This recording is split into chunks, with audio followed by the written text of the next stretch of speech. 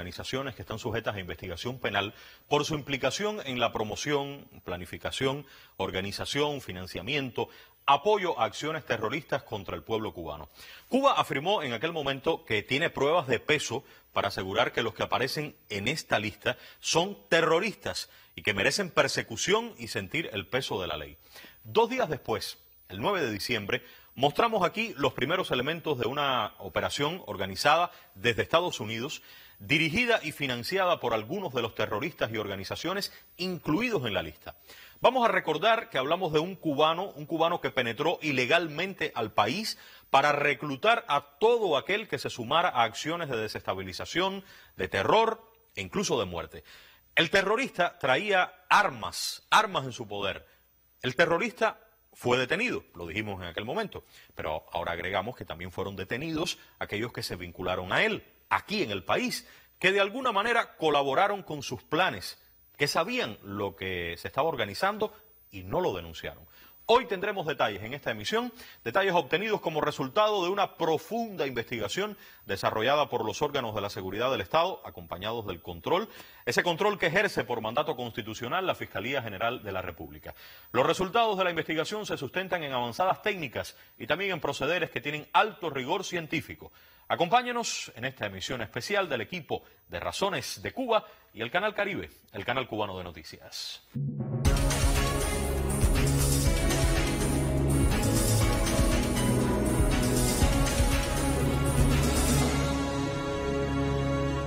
Me acompañan en esta oportunidad el coronel Víctor Álvarez Valle, segundo jefe del órgano especializado de la Dirección General de Investigación Criminal del Ministerio del Interior. Coronel, está con nosotros nuevamente. Bienvenido. Gracias, Humberto. Un saludo para usted y para todos los que nos siguen. Y está con nosotros también el fiscal Edward Robert Campbell, el fiscal jefe de dirección en la Fiscalía General de la República. Fiscal, también bienvenido a esta emisión especial. Gracias, Humberto. Saludo para todos. Coronel, quiero comenzar con usted, por favor, venga hacia acá. Eh, desde el 9 de diciembre y hasta ahora, ¿qué ha ocurrido en materia de investigación? Y vamos a comenzar con una actualización de lo que dijimos en aquel momento y en el punto en el que nos encontramos ahora. Sí. Como resultado de las investigaciones que se practicaron, se procedió a la detención del ciudadano Ardenis García Álvarez, ciudadano cubano, eh, oriundo de la provincia de Sinfuego, de 40 años de edad, residente actualmente en los Estados Unidos desde el 2014, que abandonó el país de manera ilegal y que ingresa ahora nuevamente al país con la intención de realizar acciones violentas, por lo cual está sujeto a proceso penal con la medida cautelar de prisión provisional decretada por la Fiscalía. Decir que la detención de este individuo se produce el 11, es decir, en, el mes 11 del 2023, luego de que arribara al territorio nacional por la zona del canal de Manuel, en la provincia de Matanzas, a bordo de una embarcación de tipo motonáutica, con el propósito, es decir, portando armas de fuego y municiones, con el propósito de eh, reclutar personas, provocar un levantamiento armado desde los Estados Unidos apoyado y financiado, realmente hoy eh, la investigación se encuentra en un curso importante. La embarcación que el mismo eh, tripuló hasta Cuba, tripuló solo, es una embarcación que hoy eh, se encuentra ocupada, una embarcación que en los estudios técnicos periciales y el estudio de las comunicaciones determinan que fue el medio con el que él arribó a nuestro país. Como verá, este individuo está realizando prácticas de tiro con armas de combate, con medios incluso especiales como son las miras telescópicas para buscar los tiros de precisión. Está demostrado en la investigación que eh, esta acción fue planificada, organizada, apoyada y financiada por un grupo de terroristas cubanos radicados en los Estados Unidos, algunos de los cuales tienen incluso otras acciones violentas en nuestro país y que eh, en reiteradas ocasiones han sido denunciadas a las autoridades norteamericanas y a las agencias de cumplimiento de la ley y aún así continúan adquiriendo armas, realizando prácticas de tiro, reclutando personas y logrando eh, habituallamiento desde el punto de vista logístico para realizar estas actividades y algunos de ellos están incluidos en la lista nacional de terrorismo. Fiscal, la naturaleza de, estos hechos los convierte realmente en muy graves. Sí, Humberto, ciertamente los hechos que acaba de narrar el coronel y que se ajustan a lo que obra en la investigación, en el expediente que se tramita, eh, en primer lugar son hechos que violan la Constitución. Eh, los objetivos que perseguía era subvertir el orden económico y social, o sea, transformar, eh, quitar lo que estaba aprobado constitucionalmente. Y además se excedía de los límites para el ejercicio de los derechos que están establecidos en el artículo 45 de la Constitución.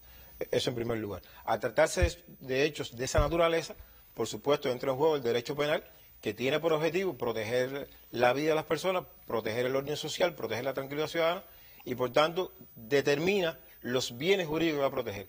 En los hechos que contan en la actuación hay transgresiones al orden político, al orden económico, hay transgresiones al orden público y también, además de los delitos que integran contra el orden público, contra la seguridad del Estado, hay delitos asociados al terrorismo teniendo en cuenta las motivaciones y los medios que empleaba y los objetivos que tenía trazados. Es decir, que hay varias figuras delictivas que convergen en, esa investigación y que posteriormente, cuando se agote la misma, podrá terminarse la calificación correspondiente. Y la vinculación con, con las personas que aparecen en la lista eh, de acciones terroristas y las personas que están siendo investigadas. O sea, que este hombre estaba vinculado con esas personas, fiscal. Sí, así es, Humberto cuando le decía que también hay hechos que tienen que ver con los delitos de terrorismo, eh, no cabe duda que en ello está presente la transformación que ha tenido nuestra legislación cumpliendo con los reclamos de la comunidad internacional. Cuba firmó convenios que tienen que ver con el enfrentamiento al terrorismo y en virtud de eso es que se emite, incluso en virtud de una disposición del Consejo de Seguridad de las Naciones Unidas, se emite la lista nacional de personas que han sido mencionadas en proceso penal por actos terroristas. Y con ellos que él se vinculado y ello tiene que ver con la preparación y el financiamiento de las actividades que se desarrollaron en este caso. Coronel, sé que usted trae un resumen de algunas de las declaraciones de esta persona, de Ardenis, desde diciembre y hasta fecha muy reciente. ¿Estamos en condiciones de ver ese resumen? Estamos en condiciones. Vamos a ver entonces, reitero, resumen de las declaraciones de esta persona que entró al país de forma ilegal con los planes que van a ser explicados en el día de hoy. Adelante. Mi nombre es Denis García Álvarez, eh, residente en Estados Unidos del 2014, de agosto de 2014.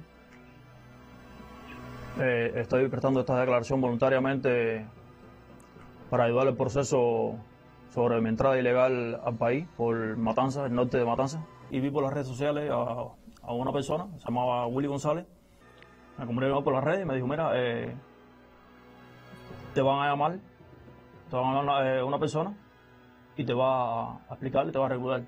Exactamente, nos pasó un rato y me llamaron. Me llamó, que fue Dayan, Dayan Quiñones.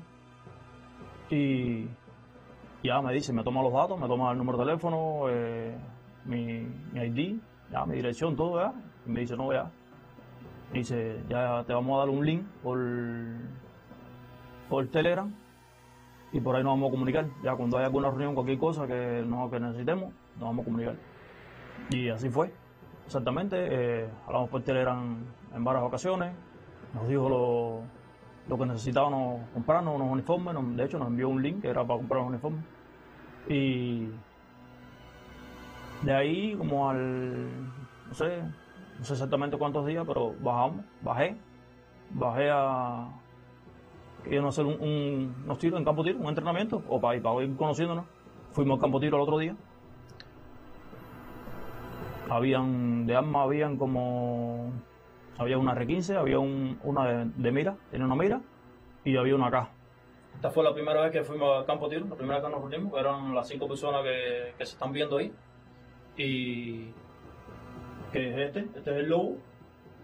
Le dicen el lobo, no me sé el nombre, pero le dicen el lobo este es Rolando, que es el brazo derecho de Willy, que es el que se encarga de los entrenamientos. Este es Willy González, que es el, que dirigía el, grupo, la organización. Este es Dayan, Dayan Quiñones, que es el que se encargaba de, reclutamiento de, las personas. Y este soy yo, quien está aquí. Eso fue en Naples. Volvimos a quedar en como al mes más o menos. Y de nuevo a, a tirar y a conocernos, todos los que habían, de los que estaban reunidos. Y fuimos, exactamente, fuimos, de nuevo nos, nos reunimos, tiramos. Ah, eh, ese campo tiro donde fuimos estaba inundado, no pudimos tirar ahí, tuvimos que, que movernos hacia otro campo tiro. Esto fue la segunda vez que, que fuimos al campo tiro, que ya habían reclutado más personas, si, si notan ahí.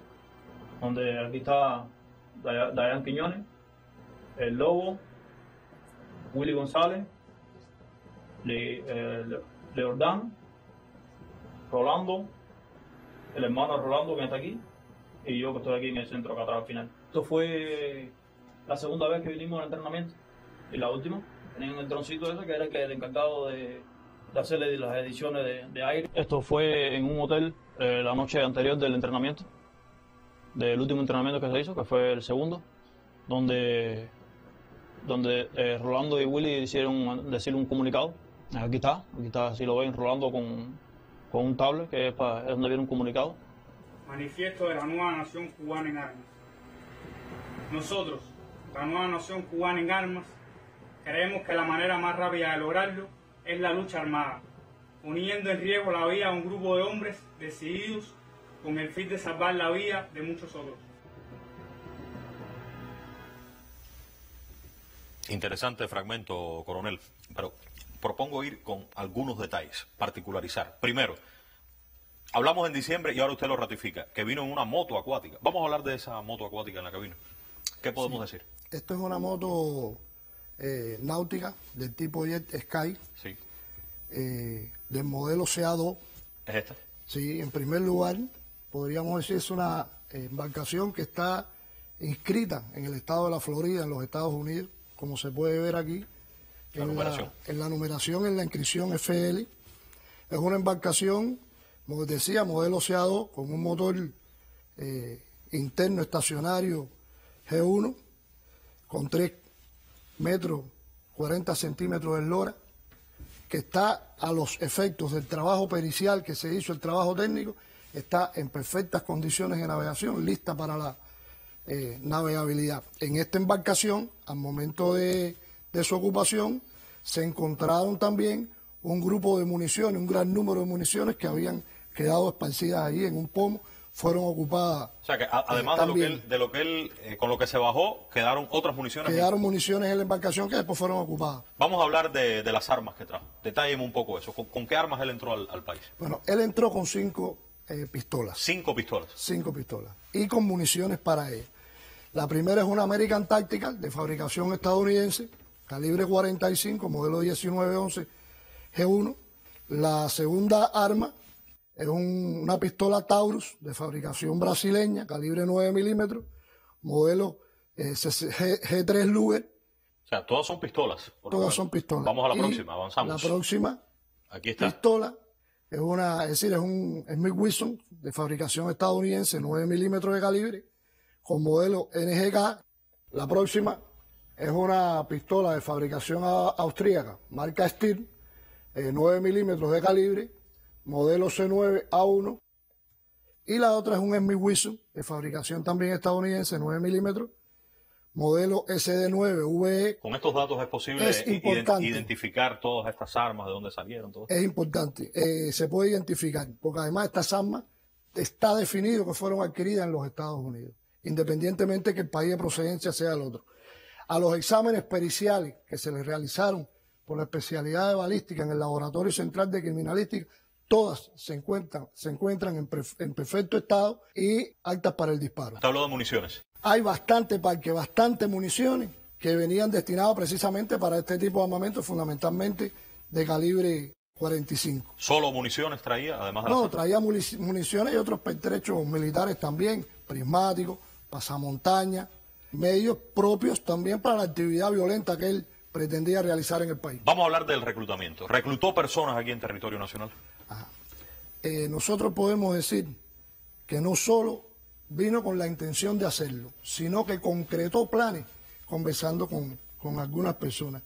Y además de concretar estos planes, también realizó recorridos, realizó observaciones, eh, intentando incluso eh, sumar a estos planes, fundamentalmente a miembros de la FARC en Milín que tuvieran determinada preparación física y ubicando lugares donde pudiese estar guardado armamento, lugares donde se realizaran prácticas de tiro y otros entrenamientos de orden de orden militar. Vamos a ver un, fragmento de algunas de las declaraciones de esas personas, porque son, son varias, pero en aras del tiempo eh, propongo, reitero, fragmento de algunas de las personas que fueron reclutadas por el acusado principal. Veamos.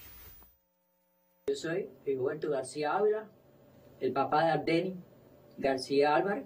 Fue cuando me hizo la historia. Me yo vine, entré ilegal.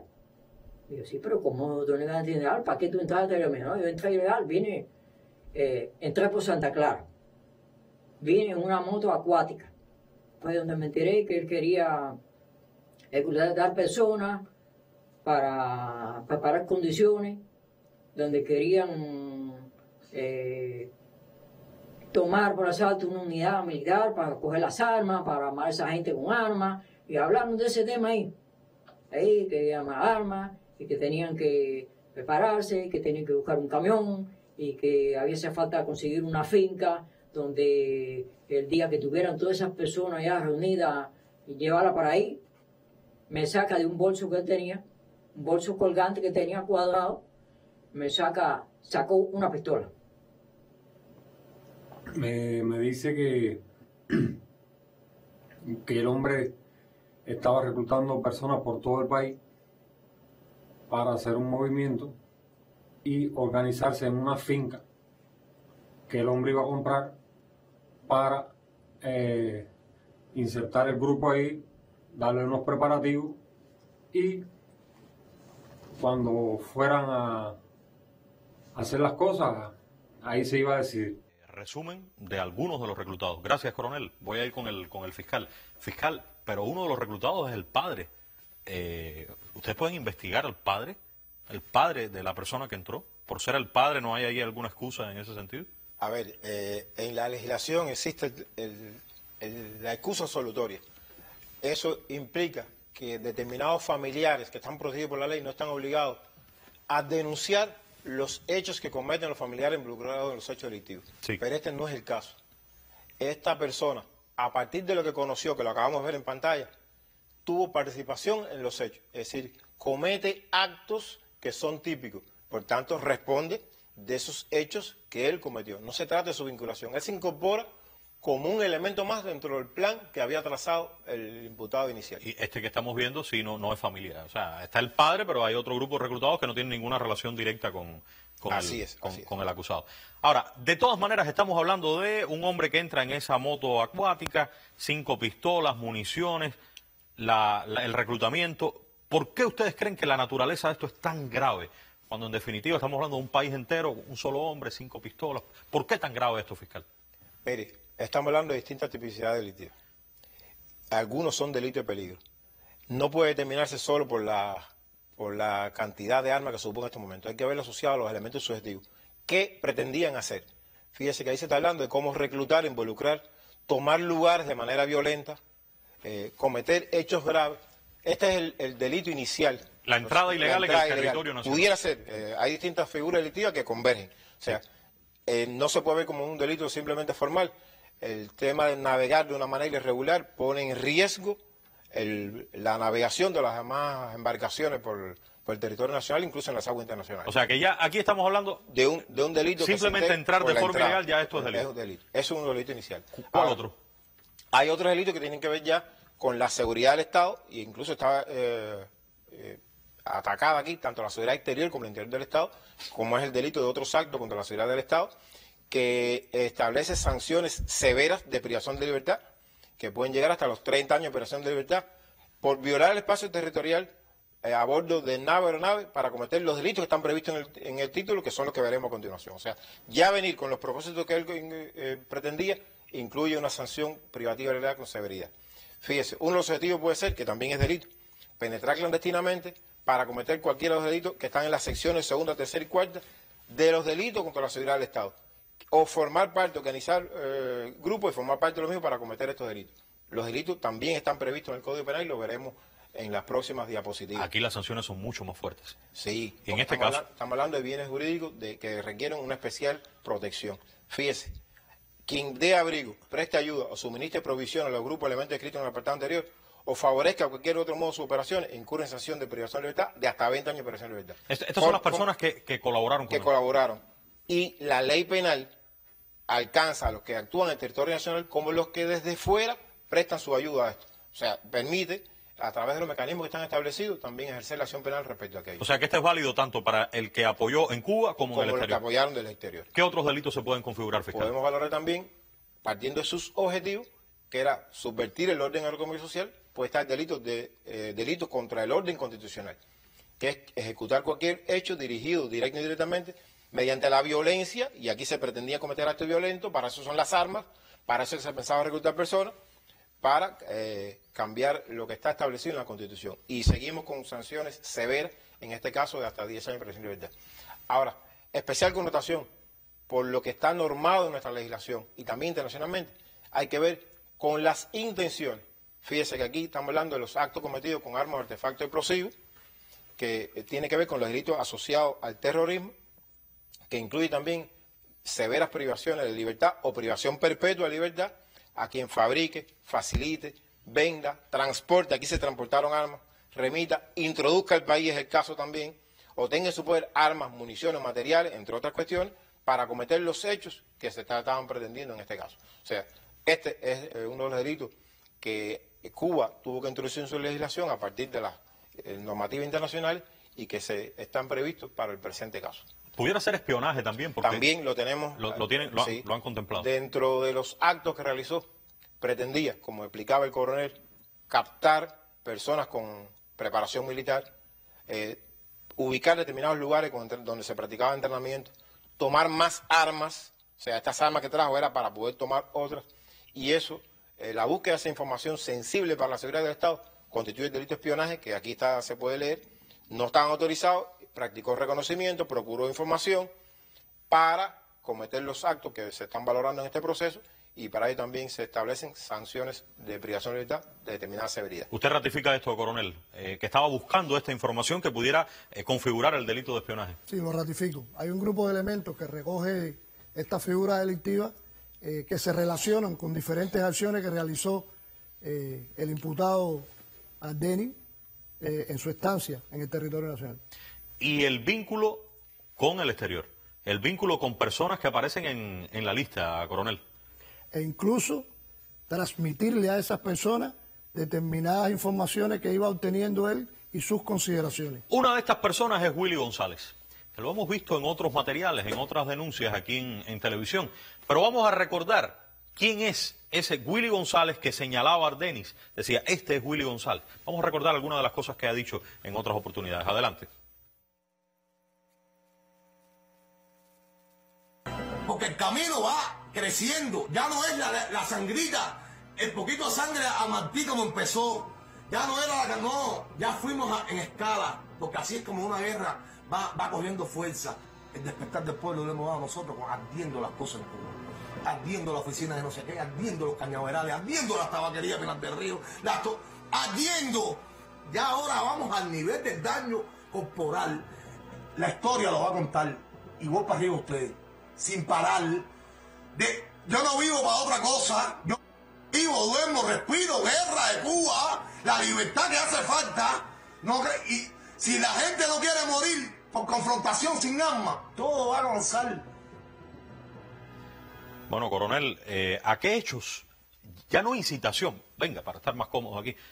Ustedes tienen a personas ya detenidas, sancionadas por hechos concretos que han sido promovidos por este hombre. Sí, como no.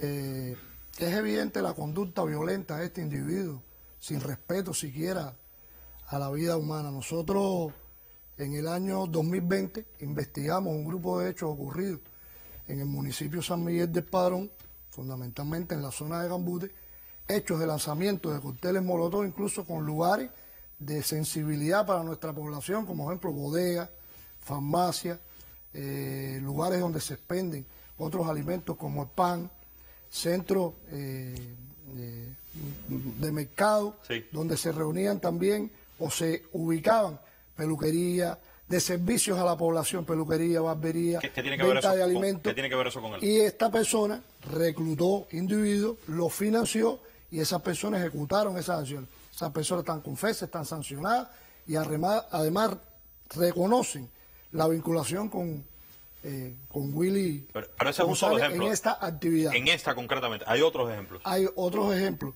Pero bueno, estos fundamentalmente son los más recientes. De las personas que él menciona, ¿hay otro que usted quiera destacar? Ahora, en ese grupo le está mencionando a uno que identifica como el lobo. Sí, dice, este es el lobo, pero no me sé el nombre. esta persona ¿Quién es el lobo? es José Luis Fernández Figuera, otro terrorista archiconocido eh, por nosotros, que en el año 2017 organizó, planificó y financió un grupo de acciones de sabotaje en la organización básica, en los almacenes, la organización básica eléctrica en San Miguel del Padrón, donde se afectó un vehículo, se afectaron más de 900 breques eléctricos, cables eh, flexibles y semiflexibles que se, utilizaban en, eh, en el sistema electroenergético nacional, sabotaje en un preuniversitario, el preuniversitario Carlos Manuel Calcines de ahí de, San Miguel, en el segundo piso del Policlínico Hermano Ruiz de San Miguel del Padrón, específicamente en la oficina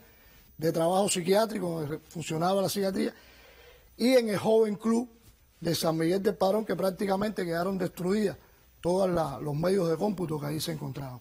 Eso es una de las, o son varios de los hechos que eh, organizó, financió, apoyó José Luis Fernández, José Luis Fernández Figuera y ahora aparece también dentro de este grupo de terroristas. Ambos, como se ha planteado por el fiscal, eh, incluidos en la lista nacional de terrorismo. Ahora, informado a las autoridades norteamericanas. Ahora, con entrenamiento, vamos a recordar algunas de las imágenes de, ese entrenamiento, imágenes que hemos también visto en otro momento, y esto le da un, peso importante, coronel, también en la investigación, que, hayan realizado todas estas acciones previas antes de llegar a Cuba, en el caso de Ardenis. Claro, eh, eso evidencia que realmente hay una preparación militar. Si esto no es un hombre improvisado que hoy se monta en una embarcación y viene a Cuba con la idea de reclutar personas, de promover levantamiento armado, de atacar a militares, reclutar y atacar, porque tenía además que tener armamento, estudiar unidades. Eh, esto le da un peso importante porque eh, la nueva Nación Cubana de Armas es una organización contrarrevolucionaria en la que militan todos estos terroristas que, como usted verá, y yo decía al principio, han estado adquiriendo armamento, dándose preparación militar y eh, creando todo un ambiente logístico precisamente para promover y ejecutar estas acciones. Fiscal, los que los que están fuera del territorio nacional no tiene la obligación, eh, digamos, el, país donde estén, Estados Unidos concretamente, de, sancionarlos. ¿Es solamente si llegan a Cuba? Eh, Humberto, debo reiterar alguna idea. Cuba emite la lista nacional en cumplimiento de la lista nacional de personas vinculadas al terrorismo, en cumplimiento de la resolución 1373 del 2001 del Consejo de Seguridad de las Naciones Unidas, que llama a los estados, eh, en primer lugar, a adoptar todas las medidas para perseguir, investigar y sancionar a los que están vinculados a estos hechos. Y en segundo lugar, llama a la cooperación entre los estados, traslado de información, intercambio de elementos probatorios, y buscar las medidas para enfrentar resueltamente los actos terroristas, que están definidos en la propia normativa de las Naciones Unidas. Por tanto, los estados están obligados a dar cumplimiento a esa resolución que tiene fuerza de ley, fuerza vinculante para todos los estados. Es un primer elemento. Pero en la legislación penal también están previstas las sanciones para esas conductas. Ya le explicaba anteriormente cómo la nuestra se, se adecuó para penalizar esta conducta. Por tanto, si el estado donde se encuentren tiene la obligación de hacer todas las acciones para ubicarlos, investigar los hechos, esclarecerlos y ponerlos a disposición de los tribunales. Y con la información que hemos brindado aquí, se puede, se puede hacer mucho más, coronel, con esas personas que están en los Estados Unidos. Sí, cómo no. Nosotros continuaremos eh, informando a través de la Agencia de Cumplimiento de la Ley todas las acciones que ellos han cometido y bueno, esperamos que en algún momento haya reciprocidad en los intercambios eh, que a estos niveles hemos sostenido con la parte norteamericana. Porque son incitaciones a la violencia muy claras. La mayor parte de lo que hemos visto aquí es público. La mayor parte es público. La actuación de estas personas, la preparación de estas personas, eh, sin ningún apego a la vida, porque ah, finalmente eh, en peligro lo que se pone es la vida humana cada vez que se ejecuta un acto de este tipo. El uso de las redes sociales para incitar acciones de sabotaje, para incitar, a agredir a militares, para incitar al desorden público, al levantamiento armado, para desacreditar a la revolución incluso en los momentos eh, que hoy vive nuestro país, fundamentalmente en la economía, son cuestiones que no pueden perderse de vista. El uso de perfiles falsos para también ganar eh, adeptos nuestro país eh, ha mantenido una política transparente, seria, cooperativa, responsable en el enfrentamiento al terrorismo y eh, tenemos nuestra estrategia nacional contra el terrorismo. Y por tanto, además, nosotros eh, mantendremos la posición junto al pueblo, la Fuerza Armada del Menín, en descubrir, enfrentar y neutralizar todo este tipo de actividades que desarrollan estos elementos terroristas radicados en los Estados Unidos. Agradezco, coronel, su presencia. Fiscal, lo propio. Como es nuestro deber, aquí vamos a continuar defendiendo la verdad y la objetividad de los fenómenos. Nosotros vamos a seguir buscando toda la información y poniéndola a disposición de la opinión pública. La impunidad jamás, jamás será la respuesta ante actos tan graves de esta naturaleza. El repudio del pueblo de Cuba, el repudio de las instituciones, yo creo que es y seguirá siendo enérgico y es la clave fundamental. Gracias a todos por la atención.